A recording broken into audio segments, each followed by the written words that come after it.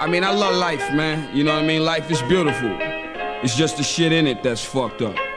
It's rough, but it's fair. But it's fair. People gotta go out there and bust they bust they ass for a job. I mean, my dad got five kids, man, and I mean, you know, he hates driving the bus, but he loves five kids. You feel me? I'm a rhyme artist, out here trying to grind my hardest. Up early so to milk the cow. Keep my John Deere out here plowing the fields to keep my John Hancock's work up in the now. Went from hanging on blocks to hanging on chart positions as part of my mission to hanging on top.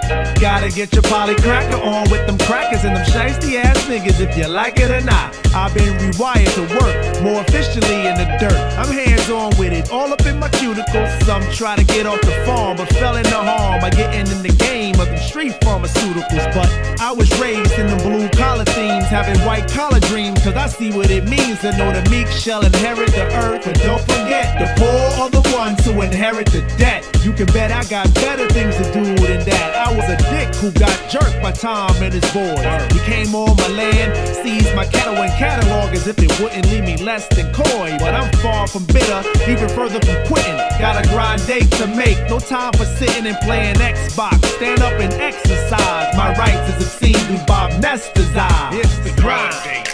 The grind day. I'm saying I'm sick of asking them.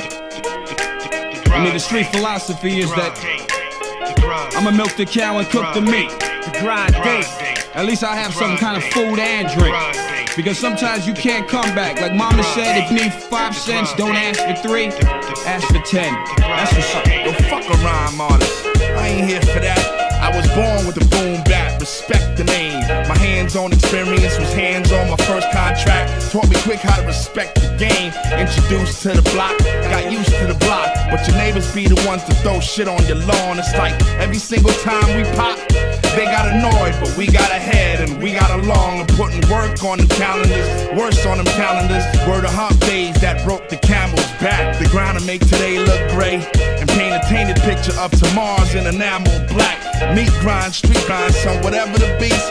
I'ma take it at the horns to the pinky toe corn and show you why we here this long. Cause when it comes to putting in work, once again it's on. It's the grind. I'm just like everybody else, man. An average nigga with above average potential.